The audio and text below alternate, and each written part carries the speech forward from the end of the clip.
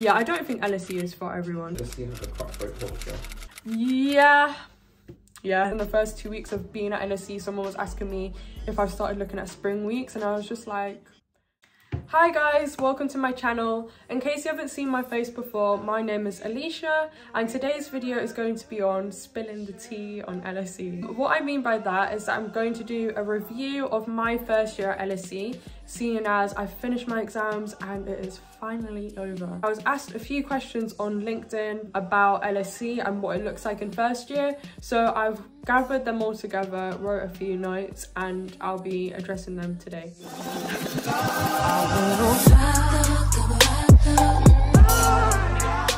What is the social life like at LSE? I can see why this question was asked because I feel like a lot of people have this misconception of LSE being a really like pathetic university for social life and just any London university to be honest. I don't think that that is the case at all. Like people at my accommodation are literally clubbing on Tuesdays, Wednesdays, Thursdays, every single day of the week.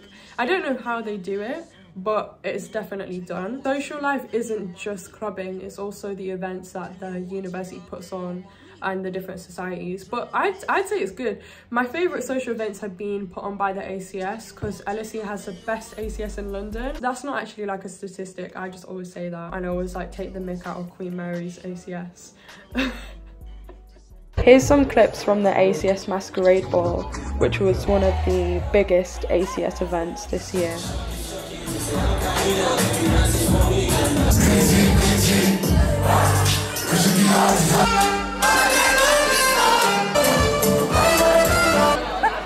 Yeah, I'm trying. I'm trying to. This is my first vlog, it's so bad.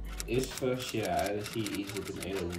Mm, this is a good question because people always say that first year of university is easier than your A-levels. To some extent, yes, but to another extent, no. So the workload is definitely not easier. You definitely have a greater workload in first year at LSE because you are like undertaking four full modules which feels like you're doing four full A levels or more to be honest at times because that consists of lectures for each module, readings for each module, seminars for each module, essays for each module and problem sets so the workload can be quite intense. Also because you're independent as well it sometimes can be hard to keep up with it all whereas at A level you're literally guided through everything. But in terms of the content so not the workload I'd say it's not as challenging in some aspects certain modules are just recapping A level. For example, the LSE statistics module and quantitative methods module, if you've taken economics, they're pretty much just recapping A level and going a little bit further.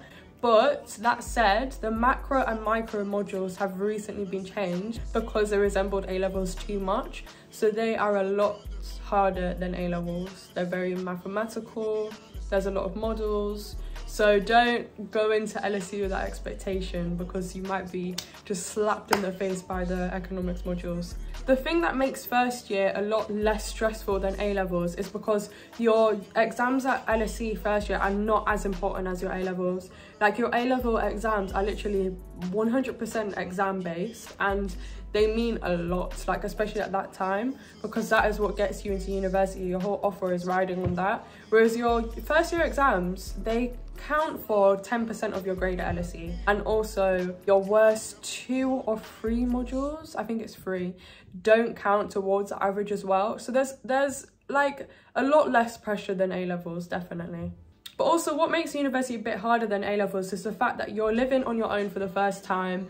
You're learning how to cook, learning how to clean for yourself, learning how to do your laundry, like you're doing all these chores for yourself, food shopping, everything that your parents or your carers probably used to do. So there's a lot of um, there's a lot of navigating and there's a lot to learn in first year. Unless you're living at home.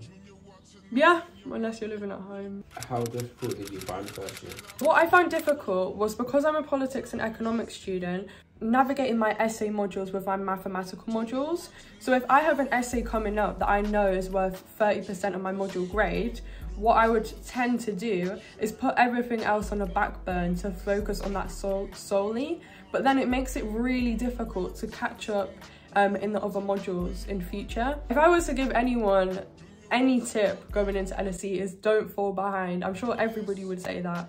just don't just don't do it because it's so hard to catch up.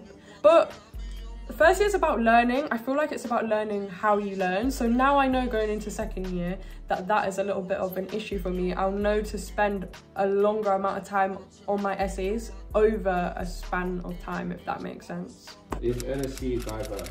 Yes, it's probably one of the most diverse universities in the UK, especially out of all the Russell Group unis and the top universities, because it's 70% international. There's a lot of different cultures here. There's a lot of different societies to represent every culture, religion, which is great. It's absolutely great, especially because LSE is in London as well. I've never felt that imposter syndrome at LSE. There is a lot of black people at LSE because our ACS is quite big, but that is not really made up of Caribbeans. So yeah, there's diversity, but there's not every single culture is represented, if that makes sense. There's only one other Jamaican in our ACS, I think, in my year. So yeah, I'd love a bit more representation. If you're Jamaican, please come to LSE. Is it difficult to make friends at LSE? Nah, I don't think it's difficult. That might just be my character. But it's definitely not difficult in Michaelmas term or freshers. But I think another tip make an effort in freshers, make an effort in Michaelmas term because after Michaelmas term it gets tough. Like during the first term, everyone is so friendly, everyone wants to make friends. You can literally just go and sit next to a random stranger and say hi and they will literally just have a conversation with you. Um, whereas when it comes to the next term, like Lent term for example, like it's just a little bit awkward if you go and sit up to a random group of people and I feel like it wouldn't be reciprocated as well because LSE is very cliquey after the first term and all my friends are from freshers as well. What is the best accommodation at LSE? I'm gonna be biased and say Bankside House. Everyone says the best accommodation is Bankside. Literally everyone, like it's almost not even a debate. But I'd say that it depends on your character. If you watch my um, previous video, which I'll put the link on, I go through an, ex an extensive list of pros and cons at Bankside and a few of my friends give their opinions as well. So you can watch that if you want more detail. But yeah, there's, there's a lot of cons with Bankside, I'll just say. And if you want to go into that further, you can watch that. But some of the other halls are great. Like I really like Sidney Webb. Um, I also really like High Holborn as well. Do you think LSE is for everyone? Yeah, I don't think LSE is for everyone. So if you don't get into LSE, I wouldn't be too disheartened because, for example, I didn't get into my first choice university, which was Cambridge. But now looking back at it, I'm glad I didn't get in there. I'll do a separate video on this, but I'm glad I'm not there because I just don't feel like it would be for me. So just sort of believe in fate a little bit. If you don't get in, it's probably not for you. I'll talk about this later in the video, but there is a bit of a cutthroat culture sometimes when it comes to internships and stuff. And that is not for everyone. What are the societies like at LSE? Um, I think the societies at LSE are great. There's so many, like I haven't even I haven't even been to quarter of the societies. So I am a member of Economic Society, Government Society. I recently went to an event and I loved it. All of my best friends are now in the committee. Shout out to you guys. So I know it will definitely improve in the future. And ACS. My favorite is ACS. This is the Afro-Caribbean Society in case you don't know the abbreviation. But if I ever see an event posted, I'm, I just book my ticket instantly. Like I'm just gonna go if I'm free because I just know that it will be good. And, and it's just a nice way to connect with people from my culture, from my background. Because without the ACS, honestly, I probably wouldn't see any brown people, any black people at LSE. Like we're dispersed. Are you laughing at me or something else? We're dispersed. Does LSE have a cutthroat culture? Yeah, yeah just, just yeah there actually is okay cutthroat is an interesting word. I don't know if i'd use the word cutthroat because that sort of implies that we're all competing with each other. And i don't feel like we are although that's probably just my opinion because we're in first year. So we definitely definitely me and all my friends are those sort of linkedin people that you see that are really annoying that post. I'm excited to announce i got an internship i got a spring week we we are those people honestly yeah i'm sorry sorry to say it we actually are. But it's not competitive it's more we're more supportive of each other, I'd say, or definitely me and my friends. Like we all like each other's posts, share them, comment. We're happy for everyone. We're happy when someone gets a massive internship at a, at a big company. It can be a little bit annoying sometimes. Like I do remember in the first two weeks of being at LSE, someone was asking me if I've started looking at spring weeks, and I was just like, I haven't even unpacked my bags yet. I like that environment though. I think that it's not meant to, I don't know, I don't think it should always be viewed as a negative thing because it does push you to achieve more. Because if i see someone if i see my friends posting on linkedin that they're getting internship offers they're getting you know they're achieving xyz i need to get off my butt and achieve xyz and more do you know what i mean the only time i found this a little bit annoying was because i am sort of driven to go into government i found it a little bit difficult to find work experience opportunities within politics whereas everyone else was sort of easily picking up corporate opportunities that I wasn't necessarily interested in. But it's all fine now. I recently got an internship at a think tank, so that's great. Do you wish you went to Cambridge instead of LSE? Why are you throwing that question in there? in hindsight, I don't wish that I went to Cambridge. For things like diversity and just the location i just don't think it was for me my dad was always telling me this when i was applying but i didn't want to hear it simple things as like me needing to get my hair dyed or my hair cut or me needing to get cantu or you know get some jerk chicken like i'm always ordering caribbean takeaways that those things would be harder in anywhere, not just Cambridge, but anywhere outside of London. The, the, opportunities that I've got at LSE, I just don't think I would have got those at Cambridge. Like I'm literally on the largest scholarship at the LSE. The people I've met, the people I've networked with, like even just being able to message someone on LinkedIn and ask them to meet me for a coffee in Westminster. You can't necessarily do that if you're living out of London. But that is a big question. That's opening a whole can of worms. So I'll go into that in another video on my rejection.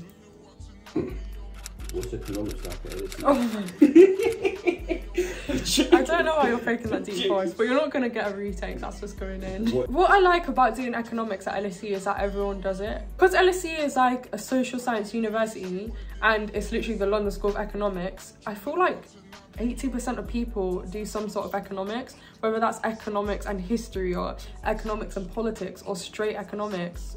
Like everyone sort of has it or might even pick it for an outside module. So in that sense, it's good to be able to chat with your friends. Like I can literally just, I don't know, walk upstairs and ask someone, did you understand this? Or I'll be in the lift and people will be talking about it. Um, and it's just great in that sense. Whereas you wouldn't get that at another university that isn't like a specialist uni. It's very mathematical. I feel like economics at university in general is mathematical because I know it is at Cambridge as well. It's pretty much just maths economic models and then a bit more maths to top it off. This is why I'm really happy that I chose politics and economics and not just straight econ because just having the mixture of the two kind of keeps me sane a little bit. If I was just doing economics, I feel like I'd be upset because I prefer the theory side to it. But I'm hoping in second year when I can pick certain modules, now that I've like covered the foundations and the basics, that it will be um, more enjoyable for me. Yeah, that's it. Oh my gosh. That was such a fun video. I think this is probably one of the most favorite videos that I've enjoyed. If you liked it, please leave a thumbs up. If you have any like feedback or criticism or anything, I'm, are you crazy? I'm sorry, I'm sorry. If you have any feedback or criticism, anything, video suggestions, please comment. I reply to all of them. And yeah, please subscribe. I have so much exciting content coming out. I sound a little bit crazy right now, but yeah. Okay, bye. Tell him this, did he miss? Junior wanting to be on my ex strippers, mm, new killers. Mm, mm, shot, tell them, mm, mm, this on Donda, mm, mm, on my mama.